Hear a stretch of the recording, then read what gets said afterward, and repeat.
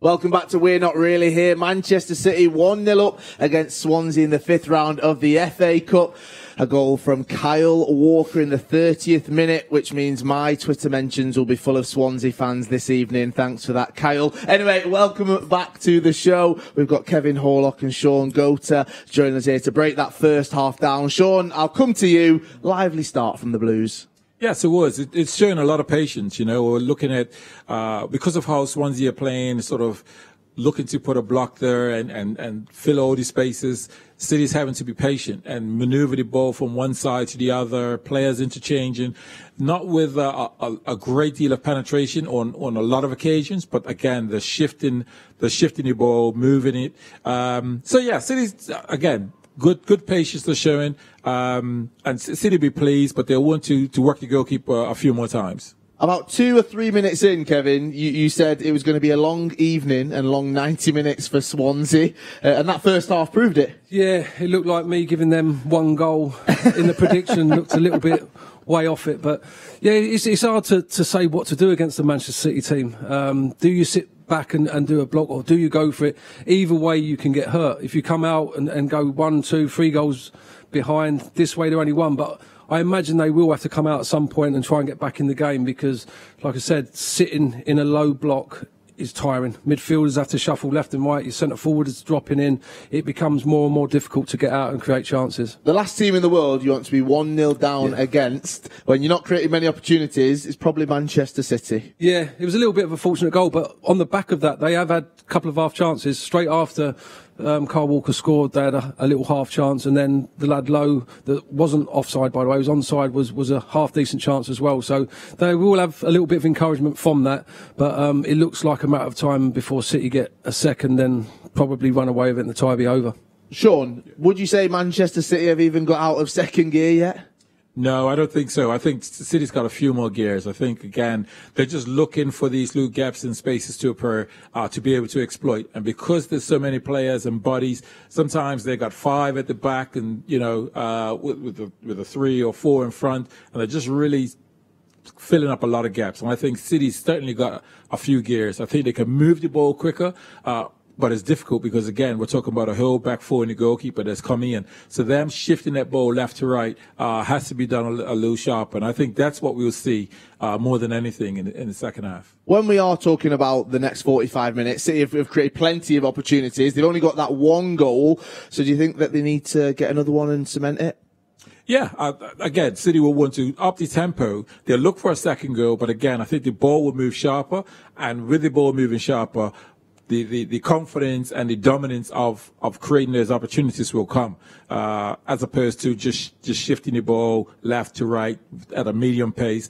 It'll make them work harder. Those gaps will get bigger and larger because somebody will, will, will, will forget the, the jobs and responsibility and all of a sudden someone's in the right pocket to slide somebody in and, and then we create those chances. We talked so much about the fullbacks and we talked about Kyle Walker coming back into the fold this evening. State to claim for, uh, to claim his, his place back in the squad. 30th minute, he puts a low driven cross in and it somehow ends in the back of the net. Yeah, he'll take that. I think as a fullback, you take anything, um, any goal. I, am telling you now, though, Sean Go oh, would have claimed it. He would have pretended he got a touch on it without a shadow of doubt, and they didn't. They run straight to Kyle Walker and congratulated him. But um, yeah, it was it was a bizarre goal, really. I, probably the goalkeeper should have done better, but he's anticipating one of the forwards to get a touch, so you can sort of understand it as well. Well, he drives the cross in. Yeah. The ball goes past Gabriel Jesus, past the defender as well, and the keeper.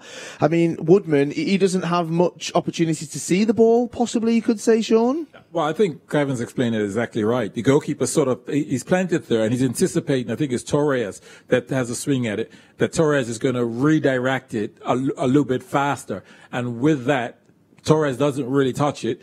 Um, and with that, what time he reacts, it's, it's crossed him. So Walker be pleased because we talked about Walker in terms of upping his game because Cancelo's just played so well. While Walker's gone in and produced a goal and said, well, you know, defensively, he isn't really going to have much to do until they sort of come out and, and start trying to push forward. A little fact for you. Kyle Walker has scored his first FA Cup goal in 3,686 days, last netting in the competition for Aston Villa against his beloved Sheffield United in January 2011. So, you know, two goals in, in what, 10 years? It's all good. Might be like a London bus though. Another one might come along straight away. You never I'll know. take it. Keep, keep, keep your eyes peeled. Second half. That second half, then, big 45 minutes coming up, Shaun. What have Manchester City got to do to ensure they go through to the next round? Well, I think City will definitely want to score another goal because then that will really settle. They'll manage the game. I think the tempo of the passing will be quicker. Uh, and again, I think we'll look to thread more, more, more passes in behind the defense. So, you know, when we get those players in those pockets, Gundogan, uh, Bernardo Silva, to be able to then slide those loop through passes and, and, and then create a few shots at the goalkeeper. Knowing how busy this season is, it looks like, as we said, that Manchester City haven't got out of second gear. Do you think that's intentional? They just want to control the game throughout, get a goal? I I think I think Sean touched on it. Uh, I think it's the way Swansea have set up. They they've given the space for them to have them. Able to have the ball in front of them, so they're, they're being patient. It is a little bit slow at times. No one's really stood out and, and been the star man and, and looking right up for it. In in all honesty, but um, they'll just be looking to stay concentrated now at the back, and, and the next goal will come. I think the second goal will come eventually, but it's about being concentrated and not letting Swansea get the next goal because it does change the game completely. when I when I look at their first half, and I you know in terms of the tempo, because of all the the energy uh, that's going into the previous game with Liverpool, sometimes you know when I think to myself, when you expend a lot of energy mentally for a big game, sometimes you still want to come out and play at that same level, but but you just don't. And I think Pep will recognize that the players are not, you know, they're going to want to perform well, uh, and and and that they must sort of just just up their tempo a little bit, and they'll get back to those levels to be able to create several opportunities. Right, we've been asking you guys to get involved and get in touch with us at home using the hashtag WNRH, alright? And we've got some guesses for Mystery Blue, alright? So we, we can see these right now, okay? Uh, some of them that, that have been getting in touch with us using the hashtag, someone said uh, Paul Bosvelt. It could be, possibly, possibly. We're going to see it in a minute, so we, we can talk a little bit about that. Uh, someone's uh, said Richard Dunne as well. They're joining you, Shaun, There on you that go. one. There you That- go, that- Richard that, Dunn. That might have been Richard Dunne saying that. Okay, uh, yeah, So- no, oh, no, no, it's not him. It's not. It's not. And then another one. Someone saying mystery blue. Trevor Morley.